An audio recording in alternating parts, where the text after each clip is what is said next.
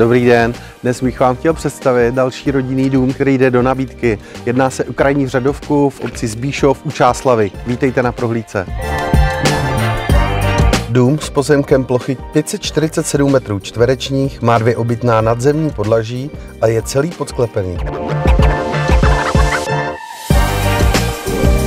Přízemí domu je kuchyně, prostorný obyvací pokoj se vstupem na terasu, zahradu, toaleta a samozřejmě vstupní chodba.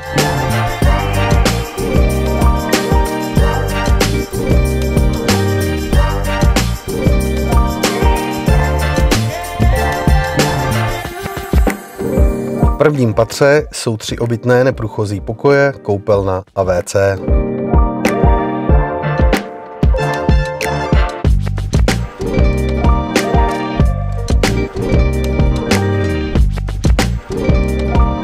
V suterénu domu je garáž, kotelna s kotlem na tuhá paliva a další úložné prostory. Díky tomu, že je dům krajní, dostanete se autem pohodlně na zahradu vzadu za domem. Zahrada má bezmála 400 metrů čtverečních a nabízí tak dost prostoru pro různé využití.